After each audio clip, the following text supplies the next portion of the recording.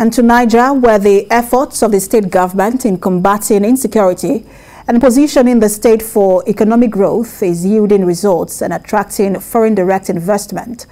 Governor Abubakar Sani Bello stated this while receiving an agricultural and establishing a tricycle assembly plant in Minna, the state capital. Over 9 million hectares of arable land yet to be exploited for agriculture. Niger State is a potential destination for agribusinesses with the prospect of ending food insecurity in Nigeria. However, low investment in the agriculture sector has set a limit on agricultural development in the state, coupled with the recent attacks in some local government areas. With recent measures put in place by the state government to curb insecurity and open the state up for investment, the state is now regaining the confidence of investors. An engineering firm in partnership with the South Korean government says it has selected Niger State as one of 12 states in the country with comparative advantage in agriculture to benefit from its $3.2 billion investment in production of tricycles and trucks for transportation of agricultural produce.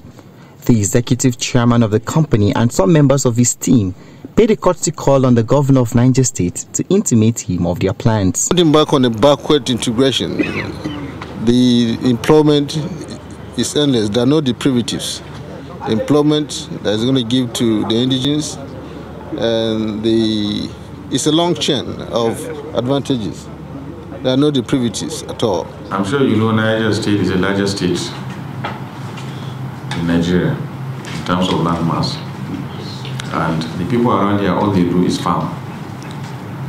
Unfortunately, uh, some local governments have been uh, bedeviled by uh, banditry activities that has reduced um, farming activities.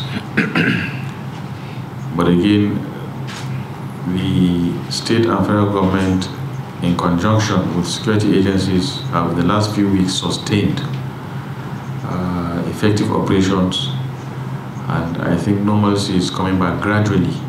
The group said inspection of the proposed sites have been completed and operations will commence soon, noting that the assembly plant has the capacity to create direct and indirect job opportunities for about 5,000 people in the state. The group says part of what it plans to do strategically to boost economic activities in Niger State is to employ locals in running its plants, thereby reducing the number of expatriates that will be brought in.